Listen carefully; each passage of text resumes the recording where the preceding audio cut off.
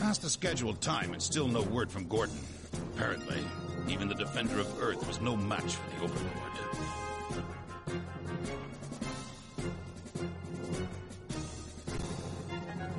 He's not the real defender of Earth. If you had just left it to me, I would have been done ages ago. Are you still carrying on about that? You need to be more insightful, Kurtis. It doesn't really matter to me whether he wins or loses. His mission ended as soon as he opened up a route to the Netherworld. Slaying the Overlord was just a pretext. Hmm, they're nothing but pawns to you, huh? But I like your way of saying it, Kurtis. I prefer to call them the heroes who sacrificed their lives for the Earth.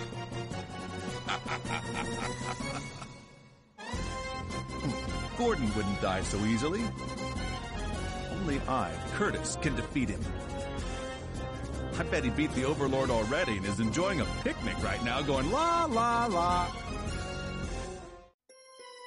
La la la. Ha ha ha ha. I never thought that picnicking in the netherworld would be so delightful. Is this guy really a hero? I'm not really one to say, but I always thought a hero was a bit more dignified. This guy's just a fool. This No, a true hero hides his real identity from the world, pretending to be quiet or weak.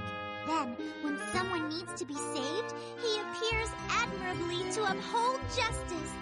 That's right, isn't it? Well, I... I guess.